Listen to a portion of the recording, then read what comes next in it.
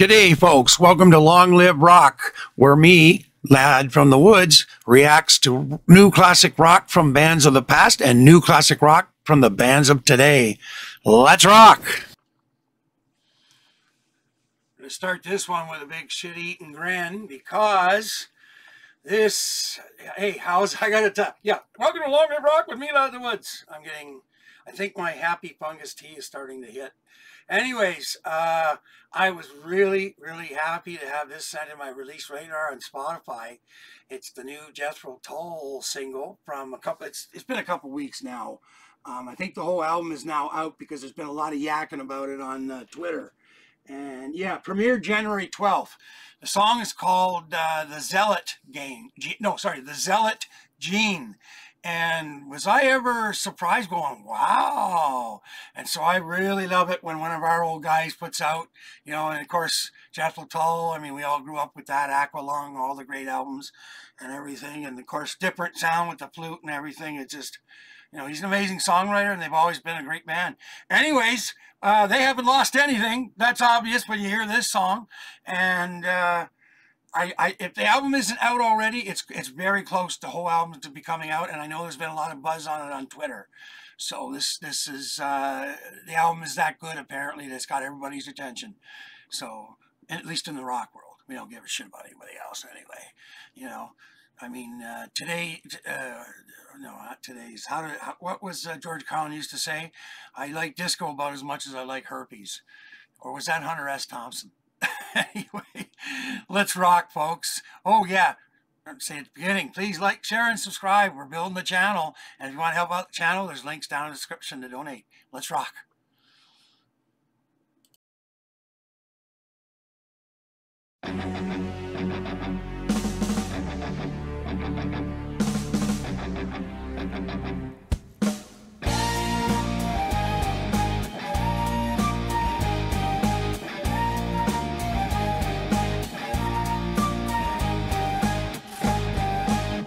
Half of us are in the apple, half of us are in the pie. All of us are in the pudding when the last bus has gone by. Someone has to take the high road, someone has to make the bed. No one has the right to tell you to lie down when all is said.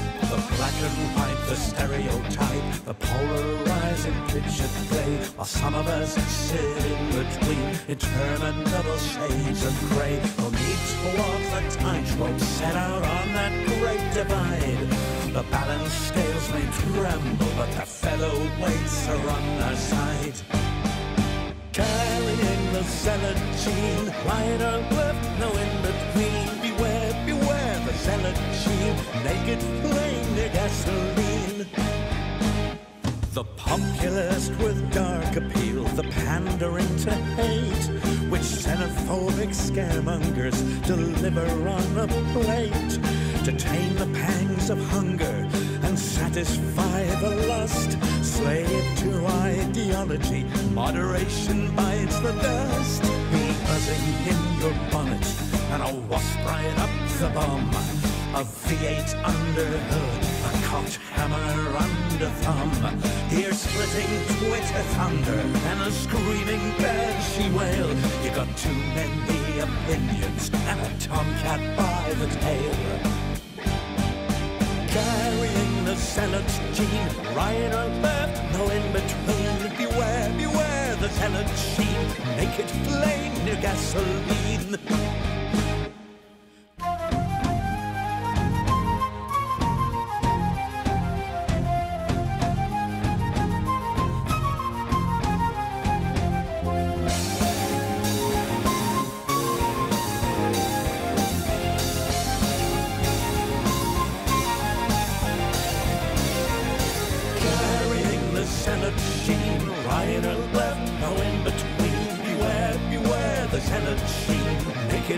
Flame gasoline. Half of us are in the apple, half of us are in the pie. All of us are in the pudding when the last bus has gone by. Someone has to take the high road, someone has to make the bed. No one has the right to tell you to lie down when all is said.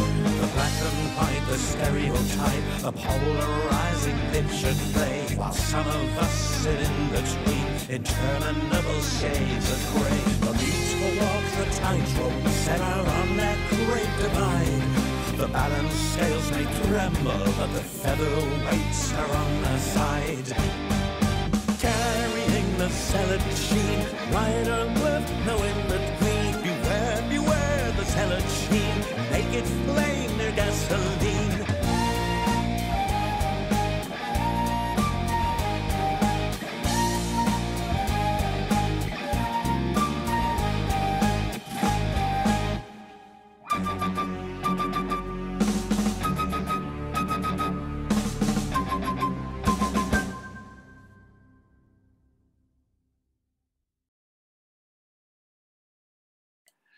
There is nothing ever simple about a Jethro Tull song, and that's why it's so good, especially if you're unhappy fungus or whatever have you, or you're smoking some really good, you know. And uh, uh, I mean, Jethro Tull, it's just, it's good for the brain cells in my mind. And uh, of course, it's it's you know instantly re- recognizable sound. I mean, uh, you know, like the Beatles or the Who or Deep Purple or Jim Morrison, the Doors, whatever, Greta Van Fleet today. It's an instantly identifiable sound, and nobody else has the Jethro Tull song. None, none that I know of, anyway.